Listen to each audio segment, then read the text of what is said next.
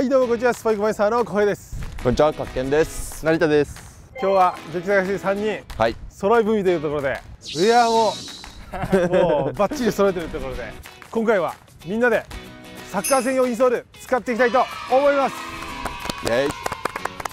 今回使うのはザムストのインソールですザムストといえば足首とか膝のサポーターが有名ですが2021年3月にサッカー用の高機能インソールが発売になりますそれがこのフットクラフトフットボールスタイル。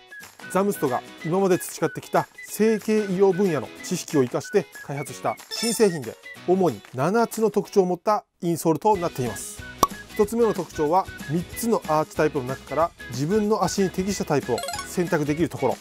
2つ目の特徴はインソールのトップコートにグリップ素材が採用されていて足裏のズレとか滑りを抑えてくれるところ。3つ目の特徴は着地時の衝撃を緩和するクッション性能足への負担を軽減してくれます。4つ目の特徴はサッカースパイクの作りや特性に合うようにインソール自体の厚みを抑えてスリムな設計にしたところ。5つ目の特徴は足の関節や骨の並びを理想的なアライメントに導き足本来の強さを引き出してくれるウィンドラスメカニズム。6つ目の特徴は足にある3つのアーチを的確に支える立体構造。7つ目の特徴は優れた安定性としなやかなサポート性を両立するコアスタビライザーとフレキシブルホルダーの2段階のサポート構造。この7つの特徴を持ったフットクラフトフットボールスタイル。実際に使ってみたらどうなるのか。どういう使い心地なのか。検証レビューという感じを踏まえてみんなで使っていきたいと思います。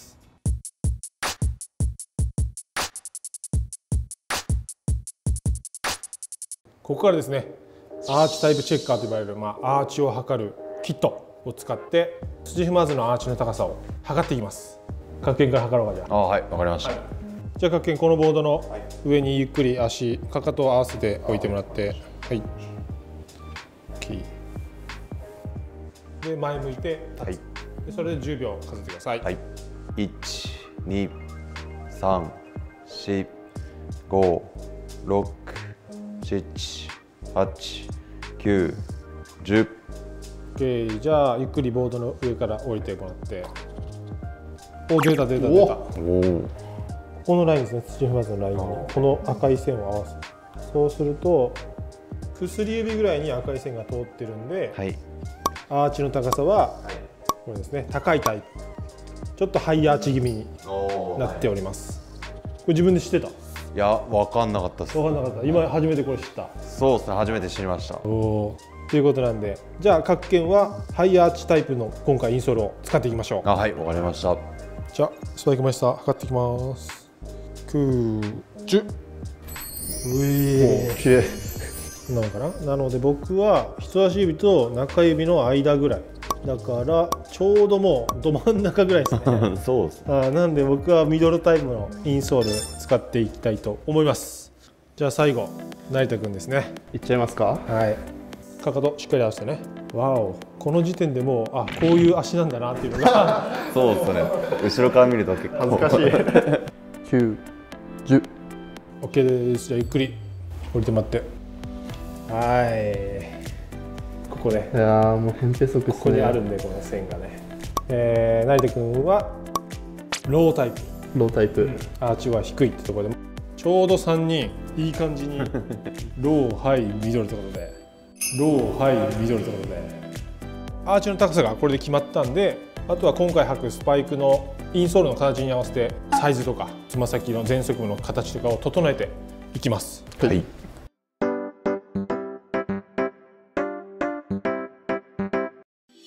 かかとしっかり合わせてでこれ。いいよちゃんとペンをナイス。垂直にやってるの。偉い。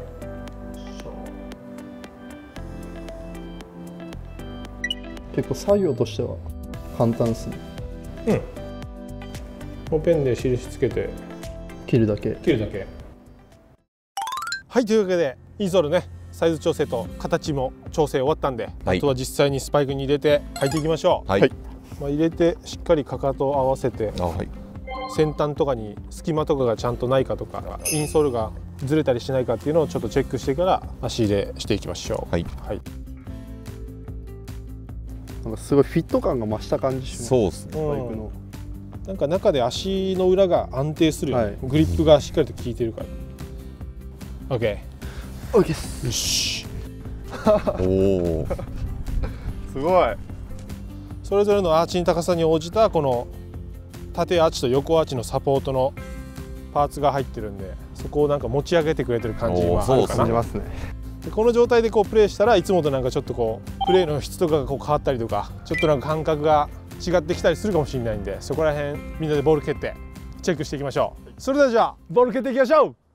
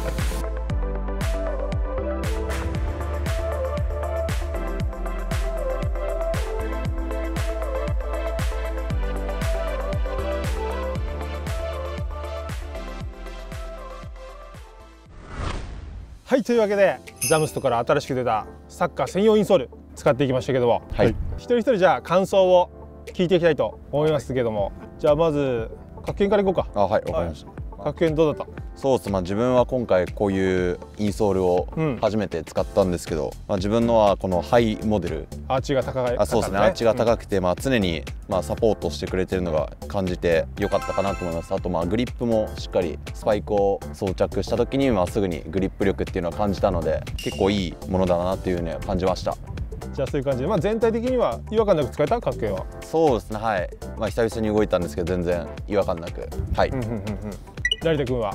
どうだった？そうですね。僕は今までに機能性インソールを、まあ、他のメーカーのものを使ったことがあったりはい。またオーダーメイドでちょっと作って使ったことがあったんですけど、はい。まあ、その時と変わらない印象すごく安定感のあるというか、まあ、さっき見てもらったと思うんですけど極度な扁平足なんですよ 僕。結構変ベ速すごかったですねあれ。そう。でちょっとこうなんですか足がこう内側に体重が乗るうん、倒れ気味な倒れ気味な感じなんですけど最近は普通のスパイクに入ったインソール使ってたんですけど、まあ、その時に比べるとしっかりこう外側の指使えてる印象があったなっていう。ですごくグリップ力っていうんですかねこう滑り止めというか。滑り止めは本当ね感じれるよねこれ。あったんでなんかキーパーやってるんで結構そういうのって気になるんですよ。はいはいはいこのステップ踏んだ時のズレとか。ズレね、でなおかつその扁平足をこう正してくれて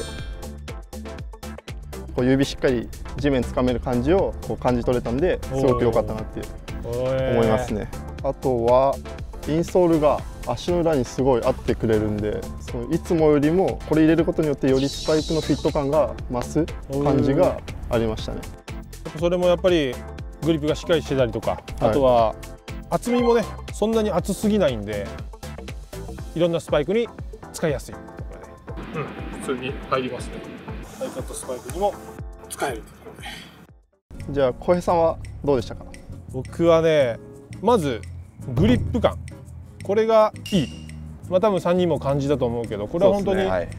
えー足裏がずれにくくて安定して踏ん張れたりとかできてましたしあとキック時の軸足とかもこの滑り止めプラス裏面のねヒールサポートとアーチのサポートするパーツによって、まあ、しっかりとこう軸足が安定感感じれて、まシュートとかも蹴れたなっていう感触はありましたね。まあ、一応インソールの単体の重量も計測すると大体 38g とかそれぐらいの重量数値になってるんでこれを入れることによって大幅にスパイクの重量が上がっちゃうとか重くなっちゃうっていうことはないので、まあ、そこは一安心というかそうですね、まあ、自分も普段の状態とはそこまで差を感じなかった気がします。うん。サーカススパイ買ってもともと入ってるやつやっぱペラペラで何の機能性もないインソールがよく入ってるんで。そういったインソールじゃなくて俺はちょっとインソールにもこだわってみたいとかインソールこだわりたいけど最初何買えばいいかわからないなっていう人には割と手頃な値段で買える機能性インソール試してるのもいいんじゃないかなと思います。で今回ね僕たちは撮影で使わせていただきましたけども、えーこれ実はあの買うと30日間返品保証がありましてほうほうほなのでもし買って使ってで足に合わないってなっても返品することができるんでそこは正直心強いじゃないですかう。そうですね。実際買ってみて合わないっていうこともね、はいあの人によってやっぱ起こり得るので、はいそういった時にそういった30日返品保証があるっていうのはかなり心強いんでこの動画見てねあのザムストのインストール気になったなっていう人は、えー一度試してみるのもいいんじゃないかなと思います。というわけで今回は激坂 FC メンバーでザムストのフットクラフトフットボールスタイルインソール使っていきましたこの動画をねきっかけにこうインソールにもこだわってみるプレイヤーが増えてスパイクだけじゃなくてインソールそしてソックスとかねいろいろ高機能なものが最近出てますんで、えーそういったものにこだわるきっかけになればいいなと思います今回の動画でね。はい。それではまた次回の動画でお会いしましょう。スパイクマイスター浩平でした。発見でした。成田でした？